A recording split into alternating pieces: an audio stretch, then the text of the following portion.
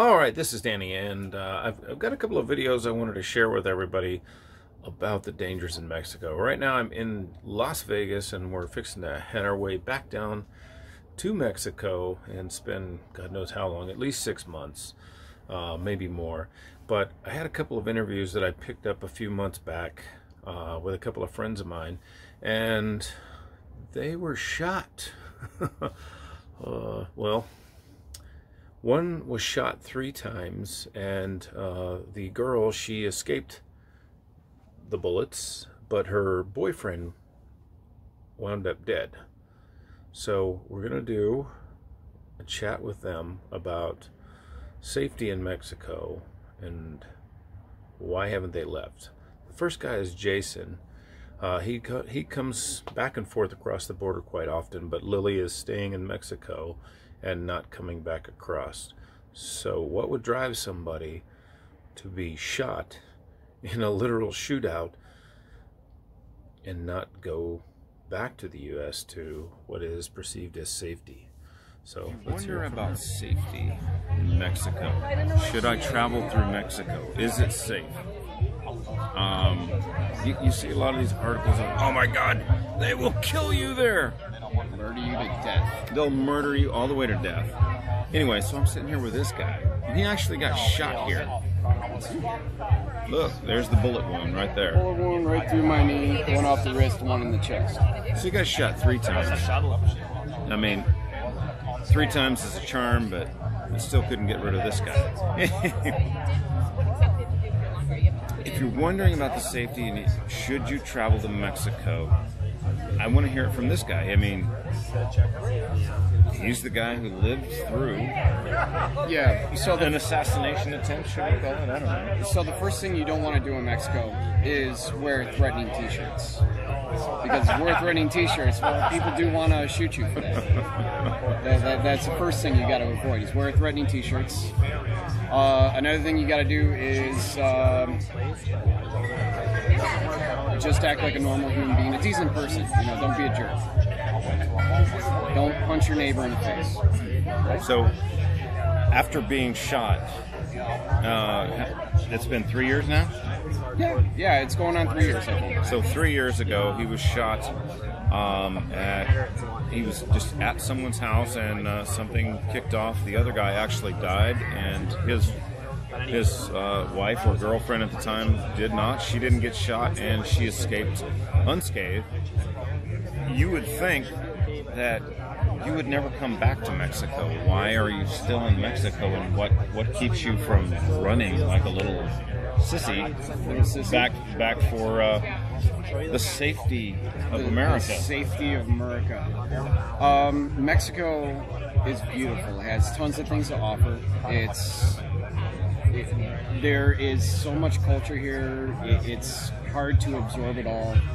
Um, there's so much to do. Um, and the people are just so inviting. After I was shot, they all took me in and told me stories of their loved ones passed on. And I really related with the locals through that. And it was pretty inspiring to me to see people, um, you know, that, that live down here day to day in this environment in the hustle and bustle of everything, and they still carry on, and everything is okay. So I've been I've been traveling through Mexico for the last six years. I, I always drive because why fly? I mean, I, I would miss all of the beauty along the way. And back in the 90s, uh, I want to date myself here because, you know, the hair is already giving it away that I'm probably over 22. We're the same age. Yeah, we're the same age.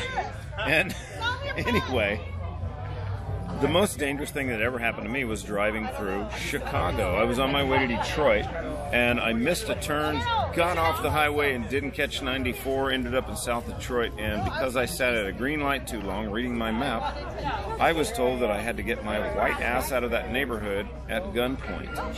And in my six years of traveling through Mexico, that's never happened to me, ever. So when, when you think about uh, is it dangerous to drive through Mexico?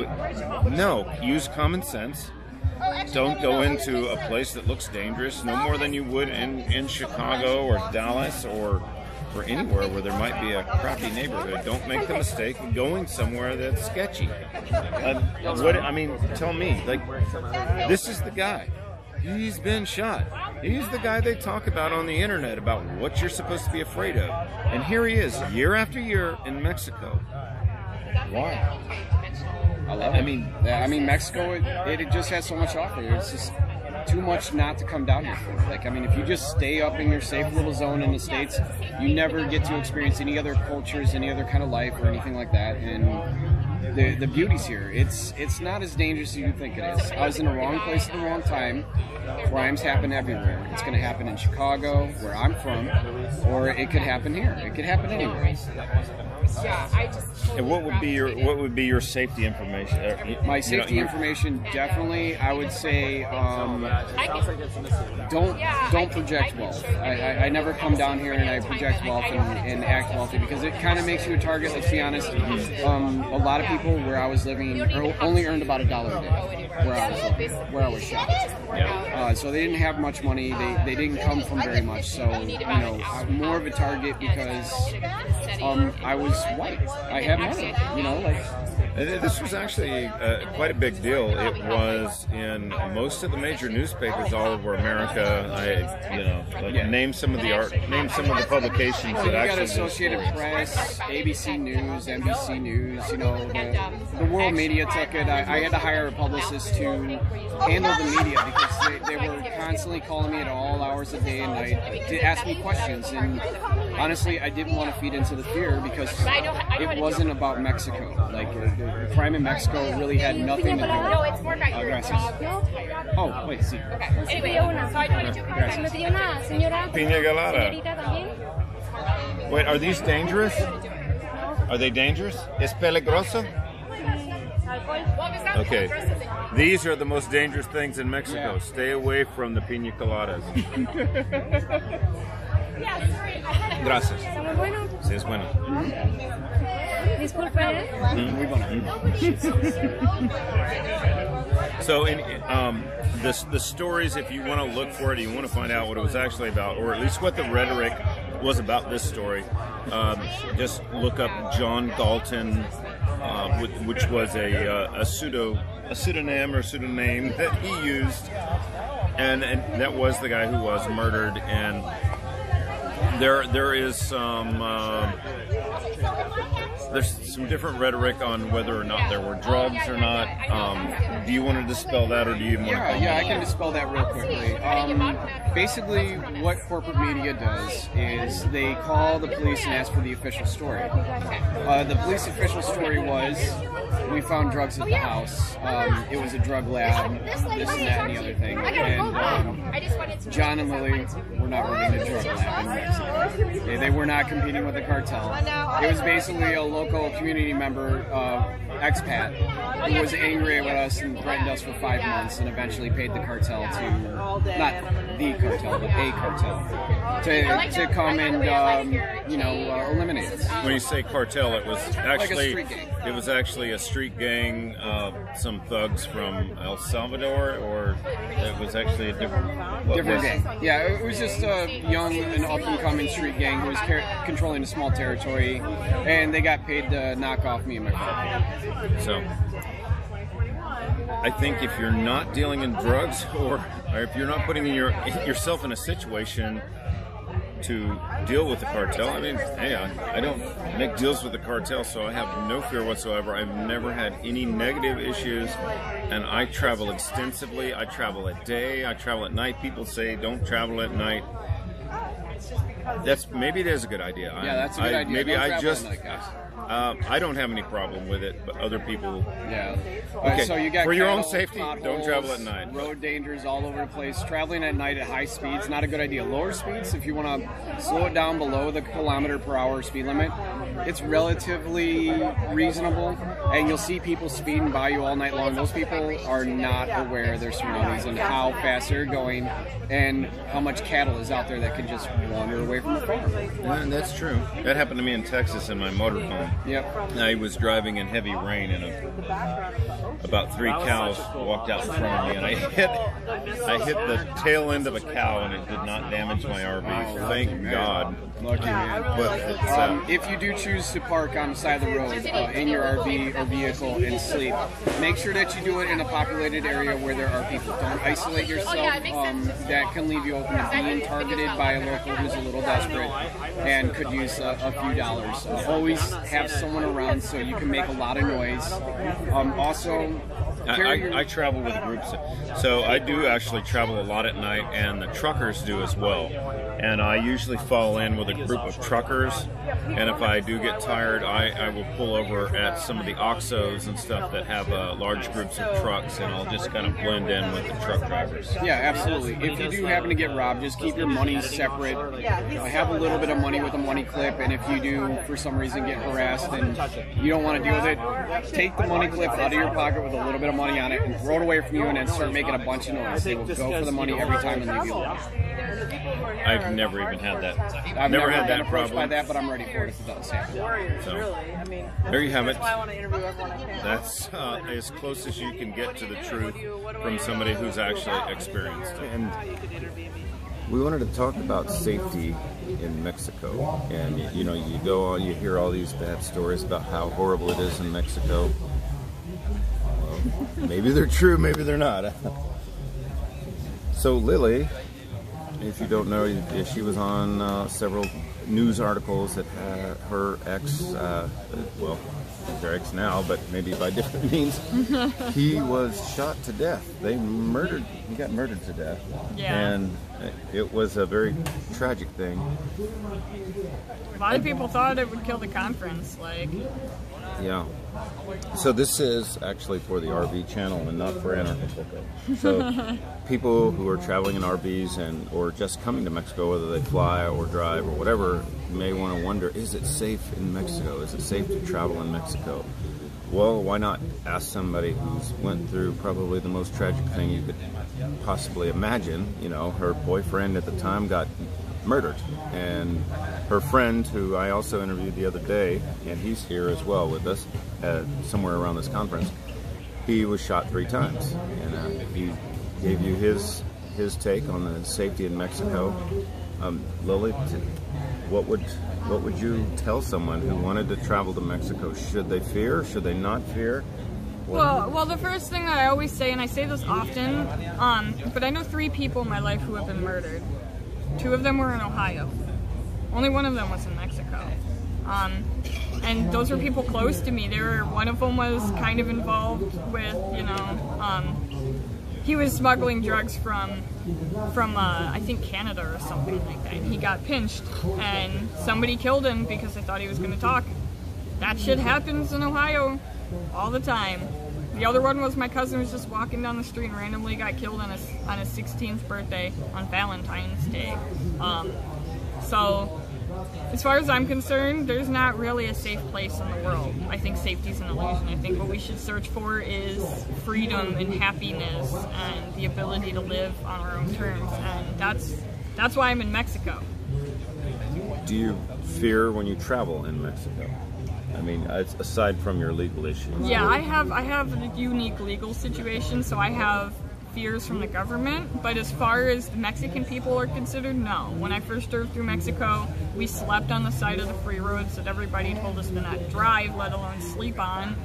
Um, there were points where, like in the middle of the night, we needed help from random Mexicans, and they saved our asses. Like the the general consensus, as far as I'm concerned, is it's like it's safe as long as you're intelligent. You know, keep your wits about you. Look, you know, pay attention for people that might be trying to take advantage because they exist everywhere. But Yeah, in the in the '90s, I had a, a situation where I was driving to Detroit, and I just was miss took a wrong turn in Chicago, and I ended up two blocks off of the highway. I was trying to get on 94 to head to Detroit out of Chicago, and as as I was coming north through Illinois, and missed the turn. I ended up in the neighborhood, and I'm at a stoplight with a map open because this is pre-cell phone day, and I'm like looking at the map. How do I get out of here? The light turns green.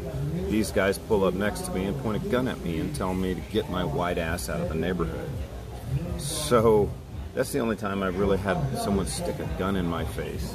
And Yeah, that's own never stories. happened here. My know? own stories. I lived in Detroit before I moved to Mexico, and I lived in the hood of Detroit. And at one, like, I, I remember being solicited for prostitution just because it was a common thing on the street next door. There was one time we were just walking down the road, and bullets started whizzing past from a firefight on the other street that we weren't even involved in. Like, Yeah. I've not had, despite being involved in like a murder and having had my house shot up, they had direct line of sight to shoot me that day. I was, I made eye contact with them. Not a single one of them tried. They didn't come after me. You know, I ran in the house that I was going to be raped and killed, and neither happened.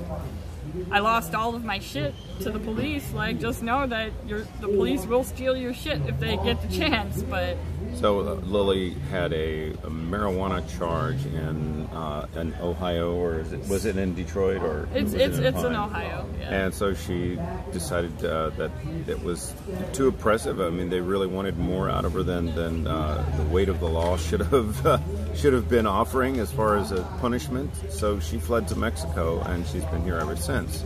So that's that's what keeps her here. And part of, I, I guess, you were making dabs or whatever. So that was kind of Yeah, I mean, from what I can tell with what happened with the murder is there was a misunderstanding as far as the community was concerned. Everybody told us you could, you know, you could sell cannabis products and not have issues. I was told that by everybody. We were making cannabis candies that we were famous for down here and cannabis oil, and I think that combined with the fact that my ex was a little bit of a confrontational human being Yes, I've met is him. what led to that. He was he was extremely confrontational. I would agree. he, he pissed a lot of people off Yeah. just by his very existence. And I think Yeah. that's what happened there, you know, like and I lived, to be clear, I lived in Acapulco for two months after the murder. And what got me to leave the city was not because I felt unsafe here. It was because I got tired of going out in the streets and having a local bring it up and then standing there crying with somebody random in the streets. I wanted to move on. So I left for that reason. Not and that was that was three. The murder was three years ago. the, the murder was two years ago Two on years. February 1st, and then I left about Yeah. the beginning of May. And It was the day I, I actually interviewed you guys the day before. yeah, you did. Yeah, and so I had uh, the very last recording uh, ever, basically. Which is crazy to consider. Yeah.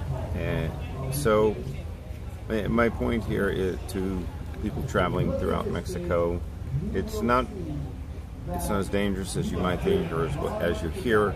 Here's somebody who actually went through the most dangerous possible thing, but it was it had more to do with the environment in the situation that she put herself in, or well, the situation she ended up in, Yeah. and not so much uh, like traveling. If you're driving through Mexico, they suggest stay on the toll roads if that makes you feel safer. Fine. I drive Libres. I don't really care. Yeah, the, t- the thing about the toll roads, like, there's less people willing to help you on the toll roads than the free roads, and Yeah. people don't realize that. Like, yeah, if you get into a bind on the free roads, it's going to be a little frustrating, but there's going to be people that are trying to help you. Because, I- like, it happens so many times. Yeah, I, I recently drove uh, back to Texas to pick up some money that was owed to me, and uh, I broke down like in the middle of nowhere. There wasn't a city for you know uh, several miles. I thought it was actually further. There was one a few miles away, but I had traveled across the desert for quite a ways. Like I was an hour away from the last city, and I thought I was in the middle of nowhere. And I was in this just a little tiny town up ahead that had like no services other than some gas and a, a tow truck.